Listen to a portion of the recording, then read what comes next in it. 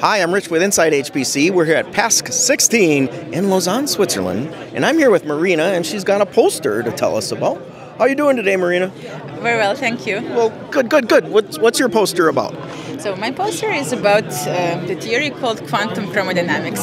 So uh, I don't know if you know, there are four uh, interactions in nature: the gravitational interaction, electromagnetic, weak, and strong. And quantum chromodynamics is actually a theory which describes the strong interaction. And this is the interaction which binds, binds quarks and gluons to form hadrons, like protons and neutrons. So basically, I'm studying the substructure of protons and neutrons, then their masses and then decays of the other particles formed out of quarks and gluons. And um, uh, the, the, reason why uh, I'm actually at this supercomputing conference is uh, the fact that uh, the calculations I'm doing actually require uh, large computational resources.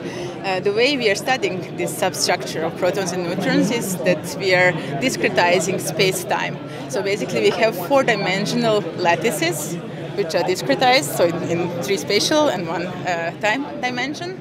And uh, these lattices are really large, so basically we're talking about matrices of the order of like million sites, mm-hmm. and uh, and in order to uh, work with them, we actually need to use some uh, supercomputing centers. For example, an example I give here is the one uh, in Lugano, here in Switzerland. Okay. Yeah, yeah. Yeah. I was just going to ask you if you use CSCS, and I see yes, you're at, okay. Yeah. yeah, recently I got a computational uh, time there with okay. a project called FlyFar. Okay. And this work is done in collaboration with colleagues from INRIA, from France, from Grenoble and Bordeaux. Mm-hmm. And um, uh, the reason, the, the, way we combine our expertise together is uh, the fact that they wrote this uh, SimGrid uh, program it's a simulator uh, which can give you the ben- benchmarks, so it, it can actually tell you, in simple words, how fast will my code run on a particular supercomputer. So I don't even have to log into the CSCS or some other arbitrary machine in the world where uh-huh. which they have already benchmarked.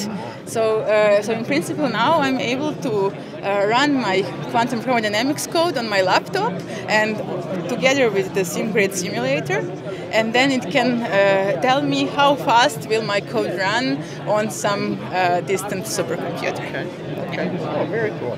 So now, isn't it isn't it hard to map where these things are because of Heisenberg, right? Aren't they vibrating and they're at some indeterminate position?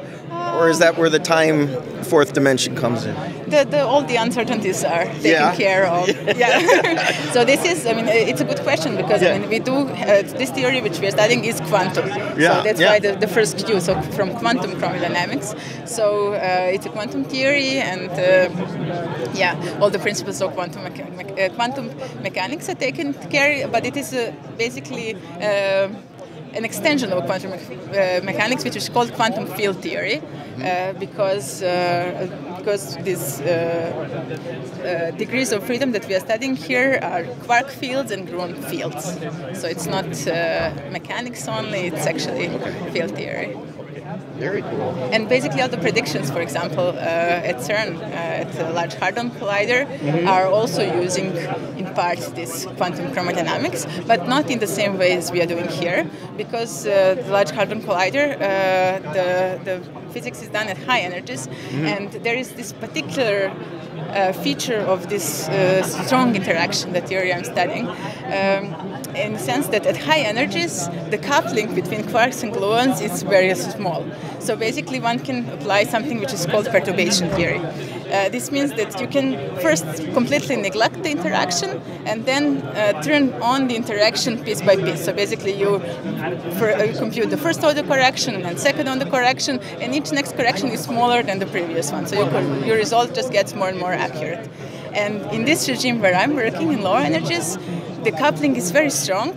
So basically, if you would just neglect interaction and then start adding the corrections, each next correction would be larger than the previous one, so you wouldn't converge to the right result. And that's why we actually need to do this supercomputers uh, and uh, and to simulate the discretized space-time lattice and not just do perturbation theory. Okay. Okay.